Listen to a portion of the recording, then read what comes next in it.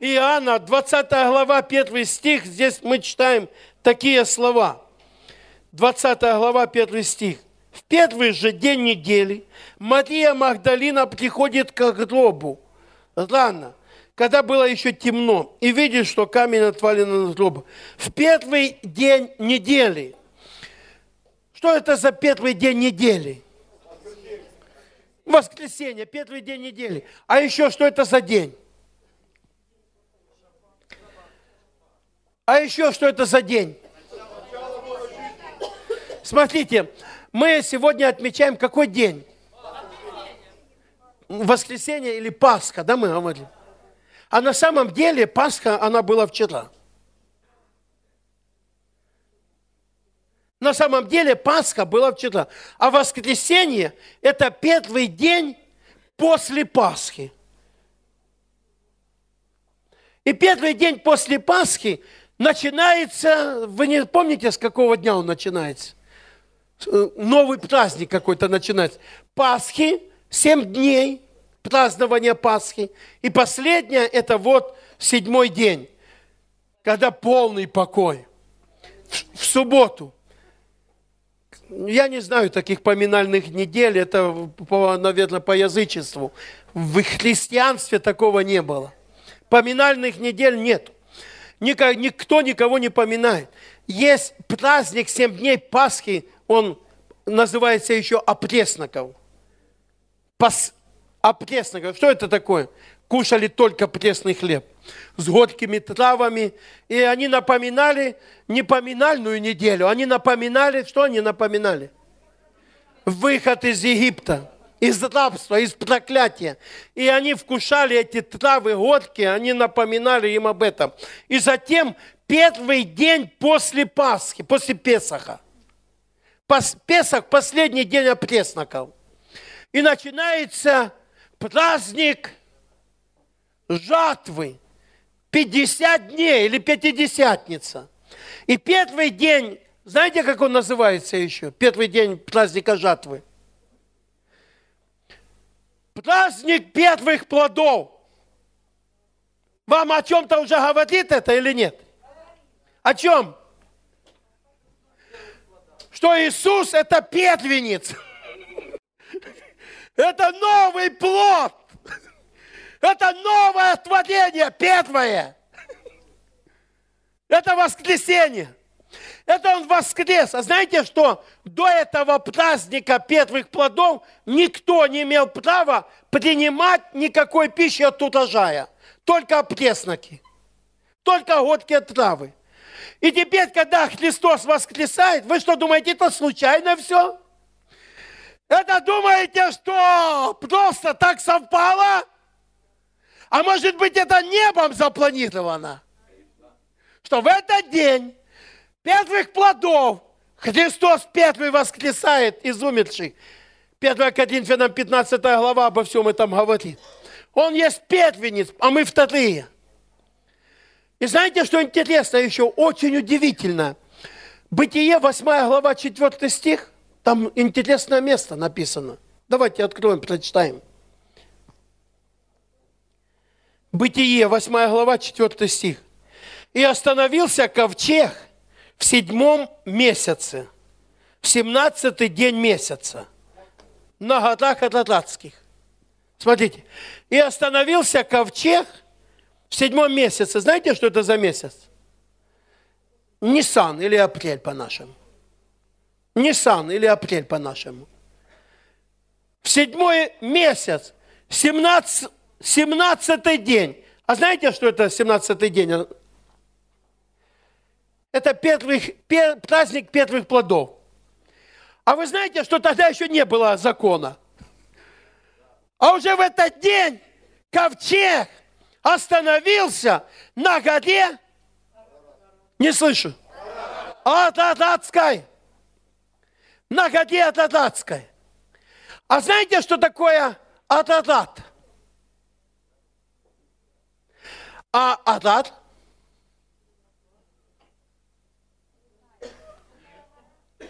Ададат. Адад я плохо выговариваю это слово, поэтому, может, кто-то мне поможет. Ататат. Атат. И означает это очень интересно. Ататат – это проклятие отменено. А Атат – земля, наводящая проклятие. А он остановился не на, на не, атат, а на ататат. А что это означает? А это означает, что вот этот день первых плодов, это символизирует, что земля, в которую ты входишь, на которой отменено проклятие. Понимаете или нет? Христос воскрес, чтобы отменить проклятие. А 17 – это символ победы. Через всю Библию ты можешь найти число 17 – это символ победы. И Иеремия вознес 17 молитв. И на 17-ю молитву, когда он молился, Бог сказал ему, купи эту землю. И эта земля тоже освобождение от проклятия. 32 глава Иеремии. Это молитва обетована, обетована, молитва услышанная. И дана по молитве эта земля, молитва, которая произвела землю обетованную в твоей жизни. И поэтому сегодня я верю, что этот праздник не случайно мы празднуем, что Христос после, первый день после Песаха, после Пасхи, Он воскрес из мертвых. И это сегодня день, или не просто день, это земля обетованная, на которой мы сегодня живем, на которой ступили твои ноги. Воздай Богу славу. Интересно, по воскресению Иисуса, когда Иисус воскрес из мертвых, до этого он был с учениками, он жил с учениками, он ходил с ними, кушал с ними, жил с ними, и он выкладывал их понимание вечности. И что же произошло после воскресения? Давайте с 21 стиха Евангелия от Иоанна, ой, с 21 главы. После, После того, можете прочитать и 20 до конца, очень интересная глава, и 21. После того, опять явился Иисус ученикам своим при море Тивериадском. Явился же так. Были вместе Симон, Петр, Фома, называемый Близнец, Нафанаил из Каны Галилейской и сыновья Завидевы, и двое других из учеников его. Сколько было людей? Семь. Что это означает семь? Полнота. Что это значит для меня полнота? Семь человек. Это означает, что ты и я, мы в этой группе людей. Полнота. Чтобы всех тебя не перечислять, полнота. Это прообраз того, что ты здесь был. Нам надо понять отношение Христа после воскресения. Какое отношение Христа не только к Петру, Иоанну Якову, но и к тебе, и ко мне. Не правда ли? Христос воскрес из мертвых. Мы помним, как Он страдал, как Его бичевали, как, он, как Его над ним издевались. А мы об этом сегодня не говорим. Мы говорим, что это все Он претерпел, претерпел ради тебя и меня. И теперь, когда он пришел, мы видим в 20 главе, он не требовал ни покаяния от Петра, ни покаяния от учеников, которые не верили в его уже воскресенье, которые похоронили его во веки вечные. И забыли о том, что они когда-то были успешными людьми на этой земле, потому что учитель их мертв, и они не верят в воскресенье. Но Иисус и давно пришел к ним. Почему? Он друг их. И здесь мы видим Иисуса, который представляет себя тому обществу, в котором и мы находимся, в полноте. И как он себя представляет? Очень красиво, смотрите. Симон Петр говорит им, иду ловить рыбу, говорят ему, идем и мы с тобою. Пошли, и час вошли в лодку и не поймали в ту ночь ничего. А когда уже настало утро, Иисус стоял на берегу, но ученики не узнали, что это Иисус. Иисус говорит им, дети, интересное слово, дети, оно ласкательное здесь написано, в уменьшительном, ласкательном. Другими словами, детки, эти детки, бросили евангелизацию, побросали Библии, бросили церковь, стали на свои пути, стали заниматься тем, кто-то за шприц взялся, кто-то за сигарету большую, кто-то пошел огород копать, кто-то рыбу ловить, кто-то пошел деньги зарабатывать, кто-то, кто-то, кто-то, кто-то, кто-то, кто-то чем-то занимается. Кто-то скандалит дома, он любит скандалить, он достает ближнего своего. То есть каждый занялся своими делами. А Иисус говорит, детки, мне нравится Иисус. Мне нравится Иисус. Мы другой раз даже не можем руку подать другому. Не можем даже простить его. Мы не можем даже ничего сделать. А он говорит, детки, он говорит, детки, есть ли у вас пища? Пищу хочу, покушать хочу. Отношение Христа к тебе, ты уже на себе крест поставил, ты уже все, сказал, я неудачник, я разочаровавший, а воскресший Христос приходит к тебе и говорит, сыночек, сынуля, доца, независимо от твоих дел, потому что выше он показал им раны. И он говорит, мир вам, посмотрите на мои раны. А что это означает? Мир вам всегда, мои детки, если вы смотрите на мою праведность, потому что раны мои – это оправдание за вас. Я сделал работу, которую выполнил за вас. И поэтому мир вам. Вот, посмотрите на мои раны. Детки, детки, посмотрите. Слава Иисусу за Его воскресение. Какой Он прекрасен. До воскресения Он был классный, после воскресения Он еще прекрасней и не гнушается, приходит к ним, когда у них проблемы, полные проблемы. Можете представить неудачника Петра. Иисус говорит, один из вас предаст, кушает хлеб, говорит, один из вас предаст меня. Надо было, сказать, двое из вас предаст, предадут меня. Потому что я не думаю, что Петр поступил немного лучше, чем Иуда. Петр отрекся, отрекся и отрекся от Иисуса Христа в самый трудный момент. Человек разочарованный. Когда Иисуса взяли, когда его били, когда его прибивали к кресту, когда его э, сняли с креста, ложили в гроб, Петра не было рядом. Представь себя на месте Петра. Просто представь. Но Иисус он не помнит, он не злопамятный. Он не видит в нем. Он наоборот понимает, что Петру надо было пройти через это. Зачем? Чтобы мог стать рядом с ним навсегда, навеки. Чтобы то, что было в нем, оно должно было еще умереть. И Бог позволил этому умереть. Но Петр, кто не понимал мыслей Божьих, и он думал, что Иисус его тоже ну, не, не любит, ненавидит. И здесь мы видим интересный момент.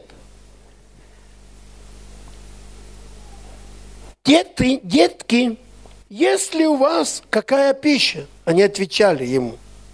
Кризис на дворе.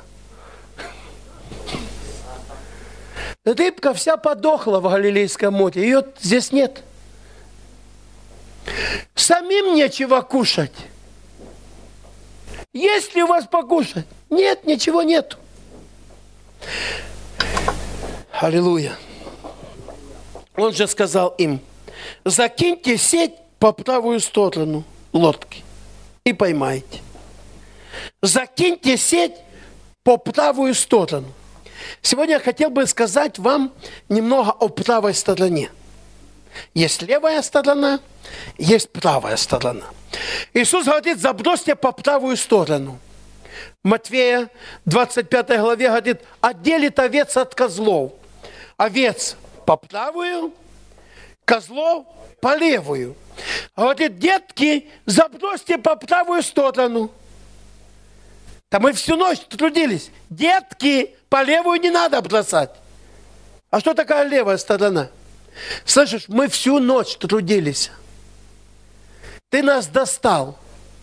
Зачем мы только связались с тобою? Так тебе и надо, тебя Бог наказывает. Это мы забрасываем сети по левую сторону. Когда мы так думаем, когда мы так говорим, когда мы обижаемся, когда мы обвиняем кого-то, когда мы в своей, не, не то что не признаем в своих проблемах виновным себя, когда мы вместо того, чтобы послушаться глазу Божьему, мы начинаем доверять самим себе. Я же знаю, я же знаю – это виновен тот, это вот это, это за это. Это вообще, будь проклят тот день, когда я связался с тобою. Если бы я не связался, если бы я не встретил тебя, то если бы вот надо было чуть позже выйти по левую сторону.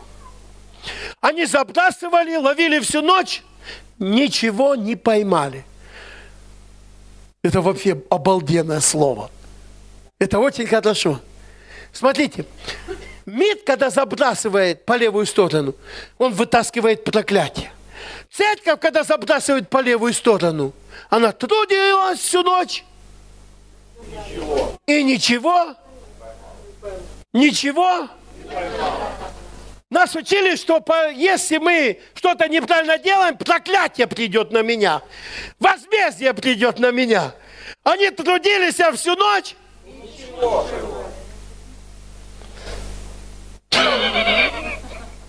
Бог добрый. Иисус добрый. Есть ли в этом зале люди, которые поняли, что Иисус добрый? Да, ты трудился целый год, ничего не поймал. Ты казнил, ты бичевал себя, ты просто ненавидишь себя. Ты можешь убить даже себя, но только не Иисус. А Иисус приходит и говорит, сынок, по правую сторону забрось. По правую сторону? А что это по правую? Правая сторона – это там, где я.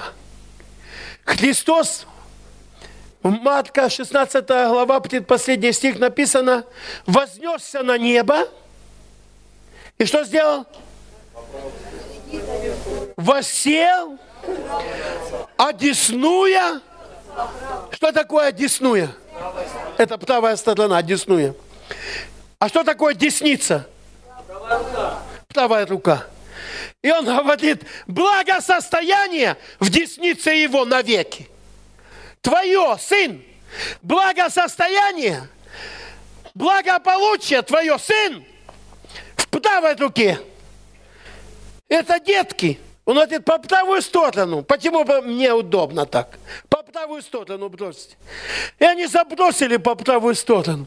По правую сторону, когда мы забрасываем свои сети, может быть у нас кризис в семье, может быть у тебя кризис в бизнесе, может быть у тебя кризис в отношениях, может быть со здоровьем кризис, как у них кризис в Галилейском море. Там валом рыбы, но у них кризис.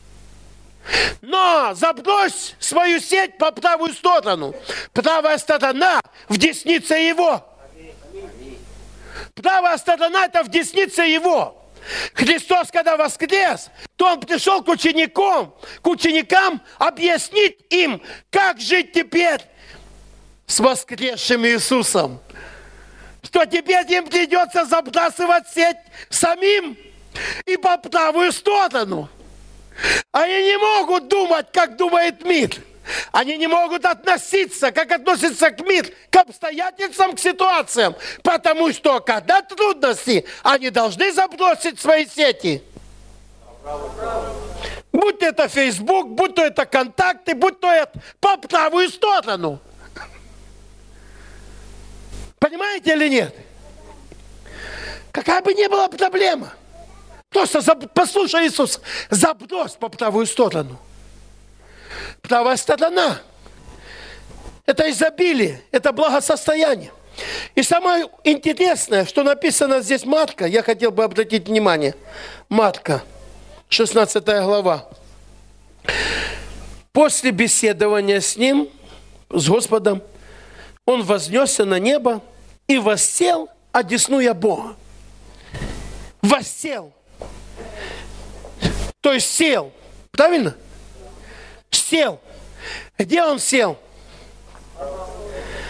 По правую сторону от Бога Отца. Дима, иди, ты похуди. Я буду Бог, а он будет Отец. А он будет Христос. Сын. Правая рука, вот она. Вот правая рука. Воссел, если бы дали ему скамеечку, как я просил. Ну, ничего страшного. Воссел. А Бог будет стоять. А Бог постоит. Дайте скамеечку.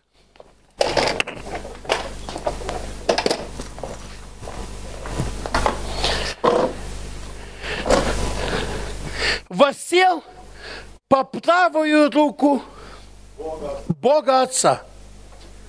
Почему он воссел? Как вы думаете?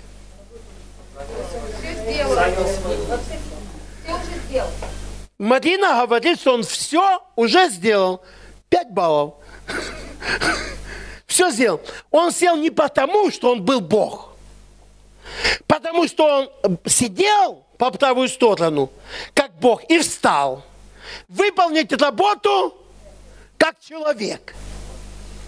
И вот теперь в Ветхом Завете, пожалуйста, сидим, в Ветхом Завете всегда священники, написано, никогда не садились.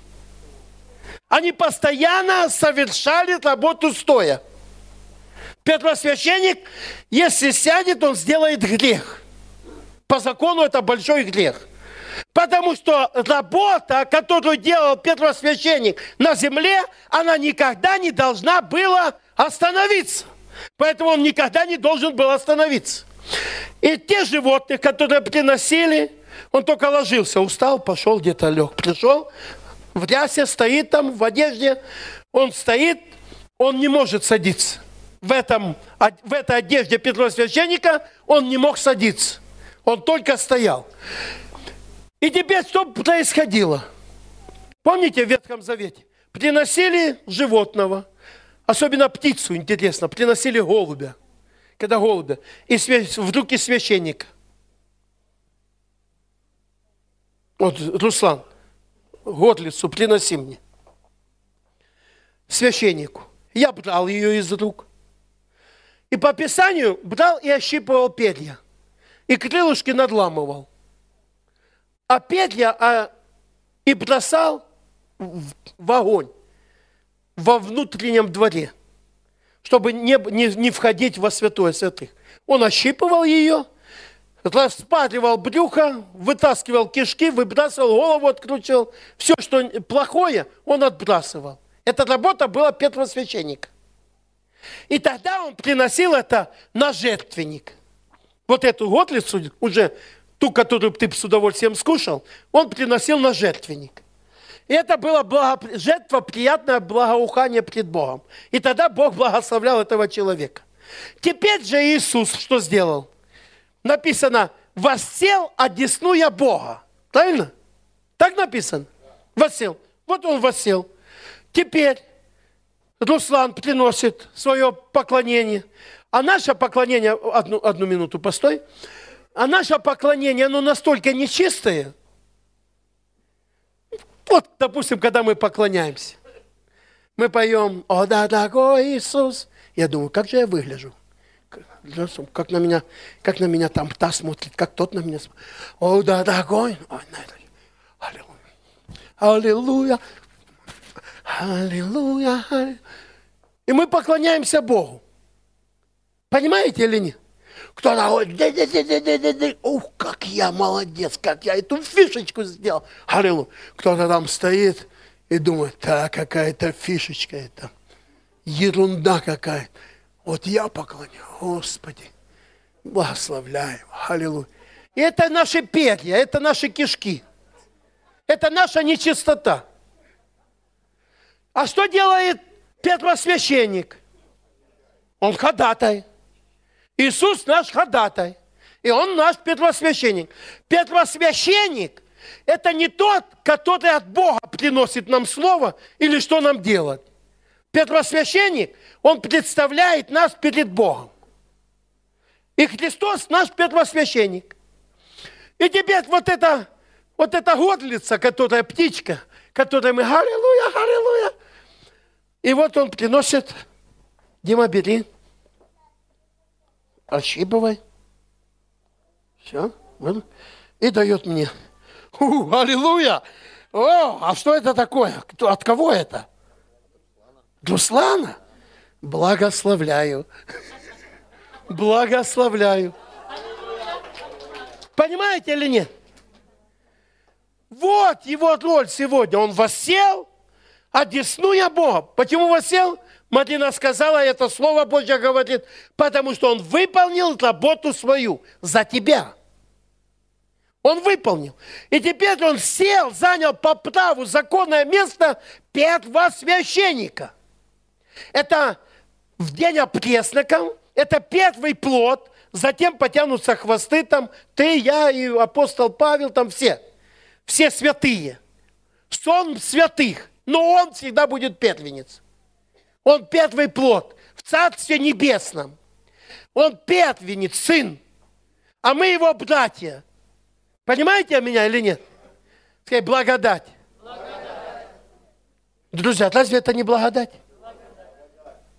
Если бы ты знал, если бы ты знал, что как бы ты ни был супер поклонитель, ты все равно не чист.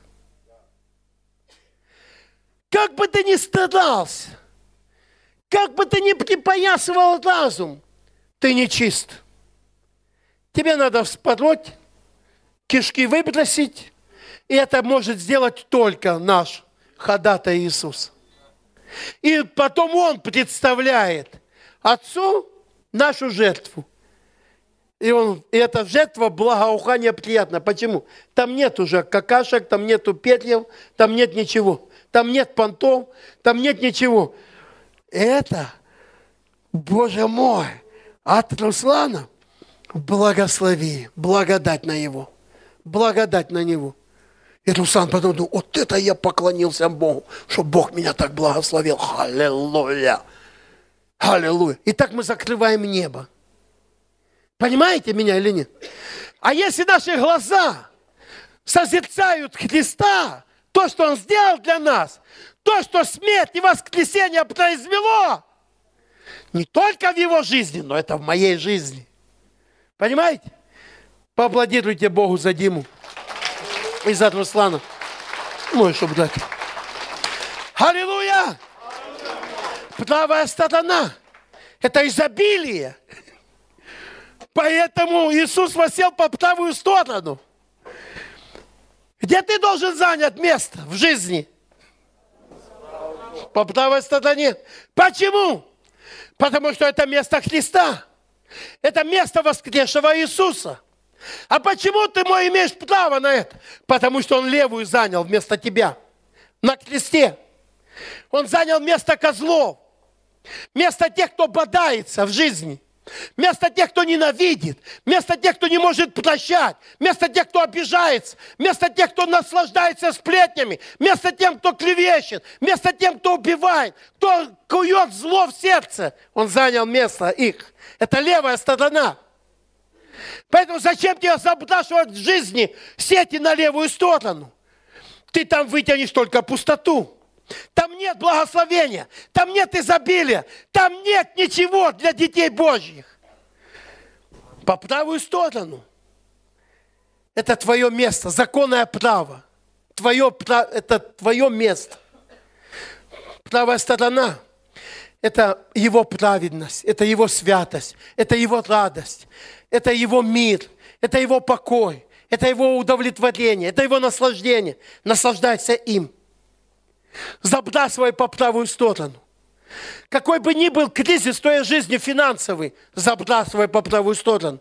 Говори в своем сердце, я верю, что я не умру с голоду. Я верю, что мои дети будут благословены. Я верю, Бог даст мне работу, работу изобилия. Я верю, что мой дом будет всегда наполнен изобилием, благословением, что благословения в моем доме никогда не прекратятся. Почему? Я забрасываю по правую сторону. Таким образом ты забрасываешь по правую сторону. Не, ну ты сумасшедший, ты безумный. Откуда? Кто тебе даст? По левую сторону твой сосед забросил. По левую сторону забросил. Что нужно делать? Продолжай по правую сторону бросать. Не обращай внимания. Не переходи на левую сторону. Не обижайся, не злись на него. Это его участь. Это его выбор. Зачем тебе выбирать то же самое, что и он выбрал? Зачем? Зачем тебе, если весь мир забрасывает по левую сторону? Друзья, посмотрите, как они живут. Даже если есть достаток в доме, ненависть, злоба пожирает их изнутри. Горечь, обида сжирает их изнутри. Вроде бы имеют счастье наслаждаться жизнью, радуйся. Нет, они не будут наслаждаться. Почему? Потому что у них постоянно по левую сторону. Они не знают о правой стороне. От них это сокрыто, потому что правая сторона принадлежит детям его. Скажи, я сын правой стороны. Заклите, я сын правой стороны. Я чадо правой стороны. Аллилуйя! Понимаете или нет? Тебе принадлежит изобилие, тебе принадлежит процветание, тебе принадлежит здоровье. И оно с правой стороны всегда. Иисус, почему я болею? Иисус, почему ты меня не исцелишь? Иисус, ну почему? По левой стороне, с левой стороны ты только вытянешь ничего не поймаешь. Он говорит, забросьте по правую сторону и поймаете. И что они поймали? Что они поймали? Давайте почитаем. Смотрите. Смотрите. Они закинули и уже не могли вытащить сети от множества рыбы не могли вытянуть сети, кто не могли вытянуть? Семь мужиков. Семь мужиков. Сережа, вот подойди сюда, пусть на тебя посмотрят люди. Семь вот таких мужиков. Спасибо тебе. Ты оправдан кровью завета. Ты прекрасен. Ты слава Господа на этой земле. Будь всегда по правой стороне. Не позволь, чтобы тебя кто-то перетянул на левую сторону. Будь то мама, папа, теща, тесть, жена, внучка, жучка. Не позволь. Никому не позволь. Никому не позволь. Позволь всегда иметь свободу в своем сердце, чтобы забрасывать по повелению его. И все будет хорошо. Семь мужиков не могли вытянуть. Это вообще обалденно. Но не в этом то, что они не вытянули. Я в другом вижу. То, что здесь написано. Смотрите. Тогда ученик, которого любил Иисус, говорит Петру, смотрите, насколько важно, почему Иоанн оставался до конца с Иисусом. У, у креста, когда все разбежались, стоял один Иоанн. Почему он стоял? Все разбежались. Почему он был всегда, везде во всех страданиях с Иисусом? Знаете почему? Потому что он не говорит ученик, которого, который любил Иисуса. Он видел, что Иисус любит его. Любовь, если ты видишь, что любовь Бога к тебе, что ты возлюблен в Боге, что Бог тебя любит, ты в страданиях, ты в лодке, ты всю ночь трудился, ничего не поймал, но твой взгляд все еще на правой стороне. Может, ты не забросил сети по правую сторону, но твой взгляд, Иисус любит меня. Может быть, все уже, да, это Бог разозлился на нас, это Петя из-за тебя, ты похулил его, ты отвернулся, это вот нам надо тебя выбросить, как Иону, и тогда, может, хоть что-нибудь мы поймаем. И, и ученик, которого любил Иисус, он не слышит. О чем ты думаешь? Ты тупица. Не понял, вы ко мне? Я люблю Иисуса, как Он прекрасен. Ученик, которого любил Иисус. Вот твой взгляд. Вот взгляд правой стороны. И через всю Библию ты увидишь, как Иоанн пишет о себе. Ученик возлежал на груди, которого любил Иисус. Он, видел, он имел откровение о том, что Иисус любит его. И это называется благодать. Закон – это ты видишь, как ты любишь, и тебе надо доказать, как ты любишь Иисуса. Это закон. И под законом, если ты находишься под законом, то ты получаешь от закона благорасположение. И благодать ты не можешь получить. Понимаете или нет? Но если ты под благодатью, ты видишь, как Он любит тебя. Неважно, ты в Галилейском море, неважно, всю ночь ты трудился, ничего. Иисус, это что Он пишет, Иисус, которого любит и, ой, ученик, которого любит Иисус. И этот ученик говорит тому Петру, эй, ты, это Господь. Симон же Петр, услышав, что это Господь, опоясался одеждой, ибо он был наг, и бросился в море. А другие ученики поплыли в лодке, ибо недалеко были от земли, локтей около двухсот, таща сеть с рыбою за лодкой. Когда же вышли на землю, видят разложенный огонь, и на нем лежат лежащую рыбу и хлеб немножко не совсем точно написано, потому что я посмотрел в словаре рыбу. Это, во-первых, единственное число. Это единственное. И уменьшительной формы. То есть рыбку. Когда же вышли на землю, видят разложенный огонь и на нем лежащую рыбку. И, а, и хлеб тоже единственное уменьшитель, и хлебушек. Не чудо ли это? Потом все мужиков наелись. Не чудо ли? А знаете, о чем это говорит? Что Иисусу не безразличен твой холодильник. Это вот о чем говорит. Что Иисус хочет принимать после воскресения участие в твоей пище. Участие в твоей личной маленькой жизни. Это Он хочет, это вот, мы видим здесь. И смотрите, они поймали множество рыбы. Но они вышли на... Они, рыба была в море, правильно? Они пришли на берег, а там маленькая рыбка. Но у них уже мозги по правую сторону. У них уже мозги там, где сети, по правую сторону. Если бы по левую сторону – Комсу поджарил. Я мы сколько рыбы наловили. Для кого это? Опять зажал.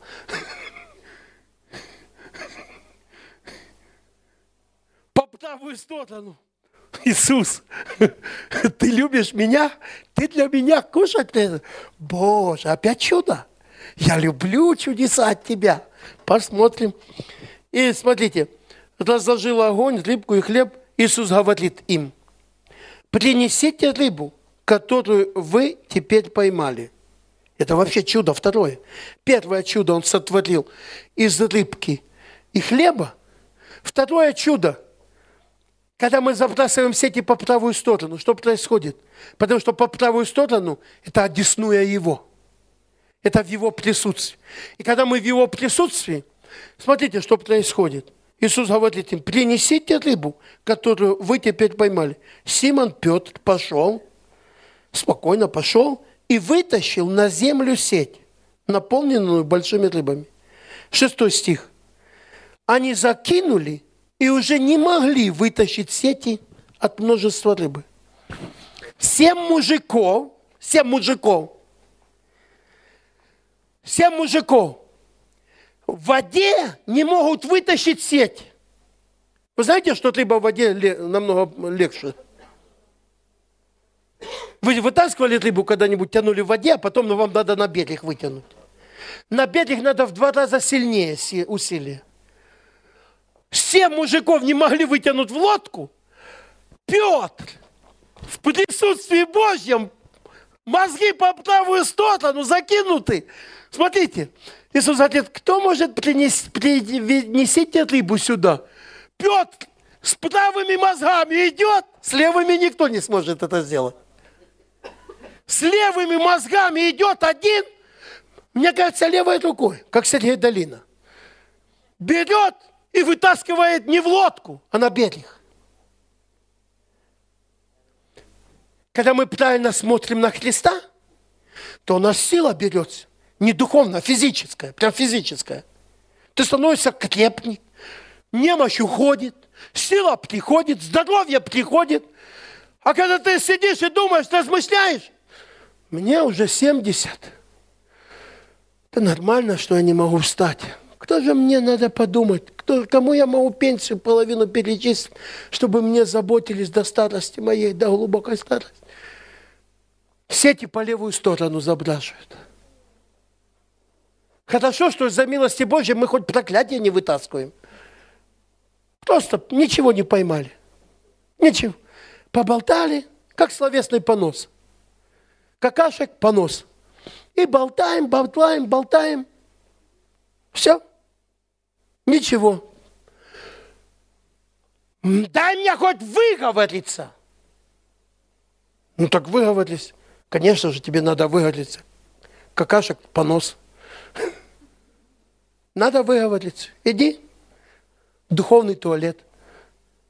Найди подружку, позвони и поговорите. Покакайте словесно. А что оно даст? Из-за воскресения Иисуса? Ничего.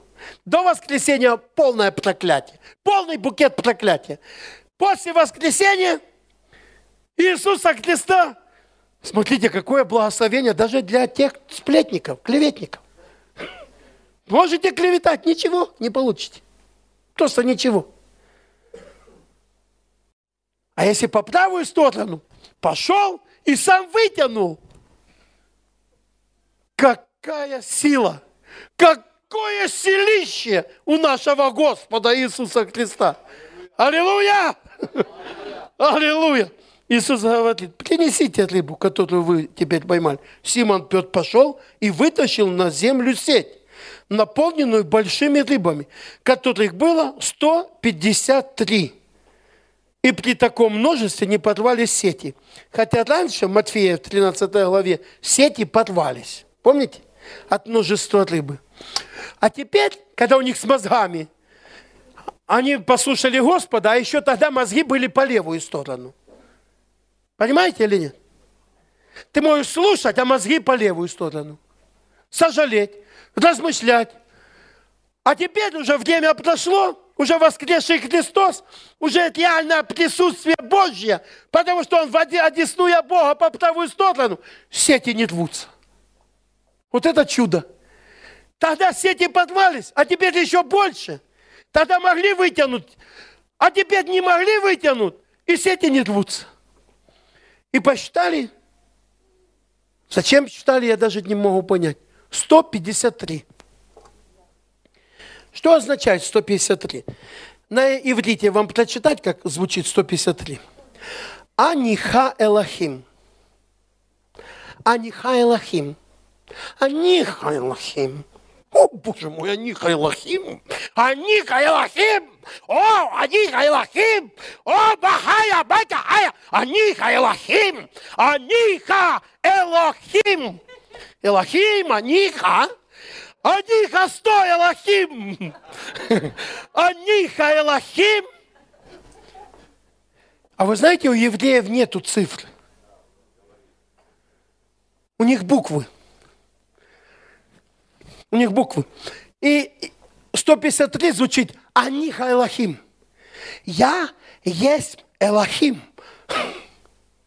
Если перевести его из цифр на буквы, это звучит одинаково.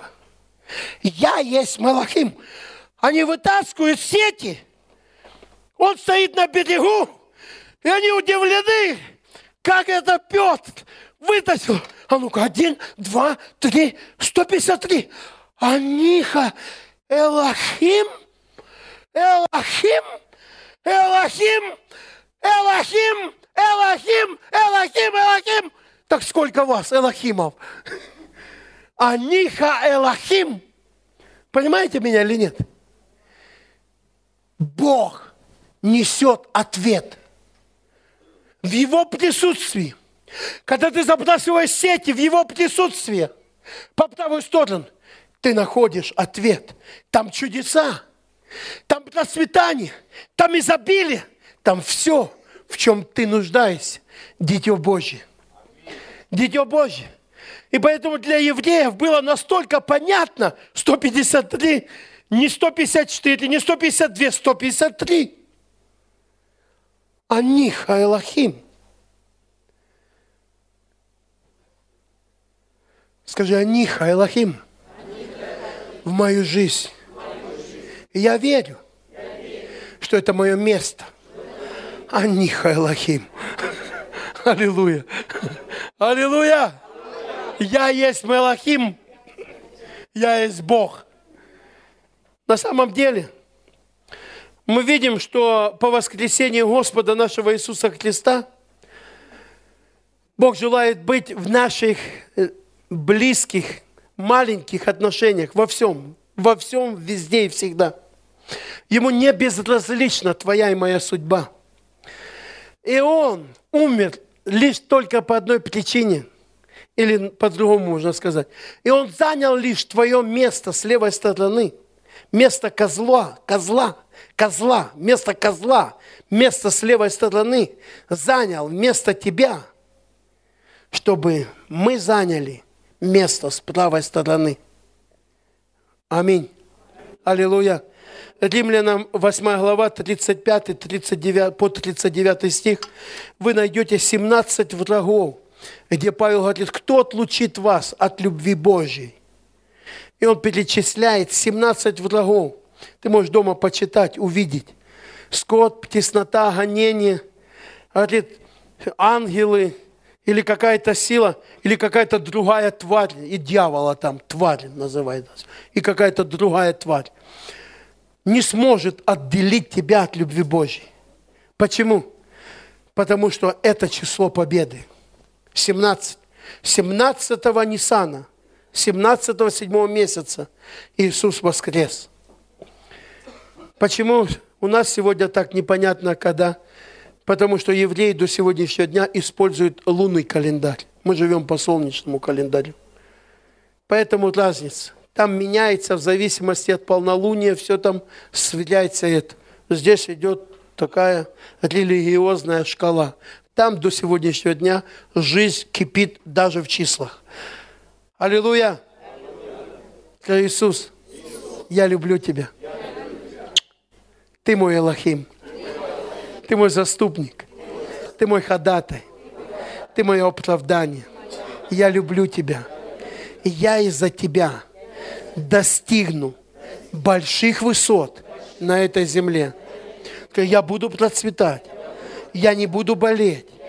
Даже если я, буду, если я заболею. Я никогда не буду забрасывать по левую сторону сеть. Я всегда буду забрасывать по правую сторону я буду исповедовать, я буду говорить, что я свободен, как тот полковник, который находился в темнице, но уже Америка победила. Я знаю, что ты мой победитель. И даже если дьявол будет обманывать меня и удерживать в плену, я буду исповедовать. И я знаю, что проблемы уйдут, потому что ты воскрес из мертвых. Христос воскрес! Христос воскрес! Христос воскрес! Аллилуйя! Воздайте славу Богу! Аллилуйя! Слава Иисусу Христу!